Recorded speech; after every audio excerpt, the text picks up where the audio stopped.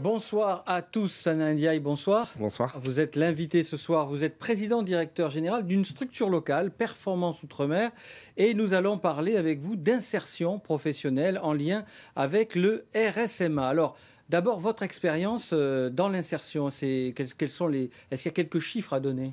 Oui, alors 17 ans d'expérience euh, dans, les, dans les métiers de la sécurité privée et dans l'insertion professionnelle euh, en métropole. On a 15 euh, ans euh, d'expérience en recrutement en Outre-mer, 10 ans de partenariat avec le service militaire adapté à Paris au ministère de l'Outre-mer, et on en est à plus de 2500 emplois créés en insertion par l'activité économique. Et donc vous êtes aussi euh, recruteur dans l'outre-mer, alors en Nouvelle-Calédonie, dans les autres outre-mer? Oui, Polynésie française, euh, Wallis et Futuna, l'île de la Réunion, Martinique, Guadeloupe, Guyane, là où il y a le RSMA en fin de compte.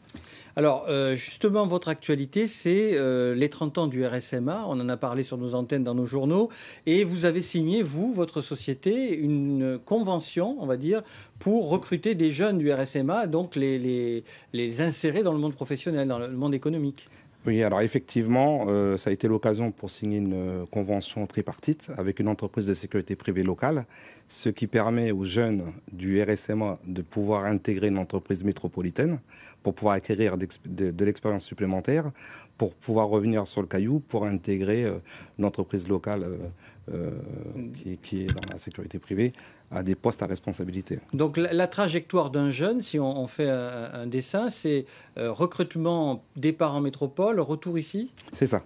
C'est ça, et ils ont aussi la possibilité, pourquoi pas, d'être employés, employés immédiatement euh, sur le, sur le caillou, ou sinon ils ont la possibilité d'aller en métropole, ce qui enrichit fortement euh, leur expérience. Il y a une grosse demande de la part des jeunes, justement, euh, de ce type d'expérience à l'extérieur pour revenir dans le pays d'origine? Oui, bien sûr, parce que le, jeune aujourd'hui, c'est ce qu'il veut, c'est-à-dire de, le fait d'aller en métropole, ça leur permet d'avoir une ouverture d'esprit beaucoup plus importante que s'ils restaient sur le caillou. Et puis c'est courageux aussi de leur part de, vouloir voler de leurs propres ailes. Et le déracinement, on en parle souvent du déracinement. Euh, souvent les jeunes voient ça comme euh, bah, une déchirure.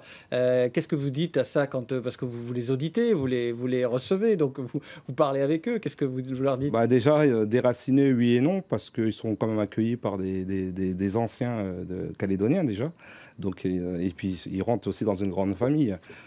Donc finalement, ils retrouvent quelque part un lieu où ils peuvent s'adapter. Et, euh, Exactement, et puis ça leur permet aussi euh, d'aller au COM-SMA à Paris, ça leur permet aussi d'aller visiter euh, le ministère de l'Outre-mer, de voir un peu... Non, non, c'est très enrichissant pour eux, puis euh, c'est bénéfique pour tout le monde. Hein. Vous avez parlé d'une entreprise de gardiennage. C'est le seul secteur dans lequel vous, vous opérez ou il y a d'autres secteurs? Il y a d'autres secteurs comme dans le nettoyage euh, industriel, comme dans la, dans la grande distribution. On a beaucoup de demandes. Euh, en fin de compte, on donne la chance aux jeunes calédoniens là où il y a de la demande en matière d'emploi. Et ce partenariat de 10 ans avec le, le, SMA à Paris, c'est la continuité d'avoir eu ce label SMA Insertion ici? C'est ça, parce que si vous voulez, on prend en charge toute la globalité euh, de, de, de l'accueil d'un jeune, c'est-à-dire de l'hébergement jusqu'à la continuité de la formation et de l'emploi, bien entendu. Et là, euh, c'est pour ça que je suis très fier de travailler avec le RSMA parce que ça nous a permis aujourd'hui de signer cette fameuse convention avec une entreprise locale qui permet de garantir le circuit euh, euh, professionnel du, du, jeune calédonien. Souvent, ces jeunes d'outre-mer sont sans diplôme, sans formation, c'est cela? C'est cela. Bah, Moi-même, je, je, suis aussi issu de l'insertion. par mon expérience, je veux leur prouver que quand on veut, on peut quand on veut, on peut. Donc il faut avoir cette volonté. Euh, aujourd'hui, vous sentez qu'il y a une grosse demande de la part de ces jeunes qui sont, euh, bah, qui sont un peu, parfois on parle d'une jeunesse en déshérence sans, les montrer du doigt, mais euh, il y a des, il y a des, solutions?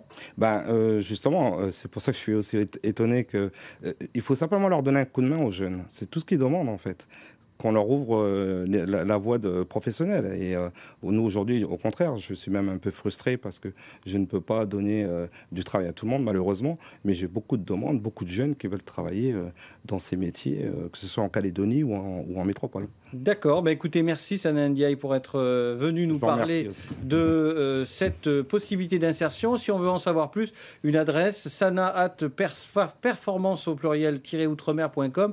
Et donc, merci encore pour nous fait participer à cette expérience d'insertion économique. Restez avec nous dans quelques minutes, c'est votre journal local et régional.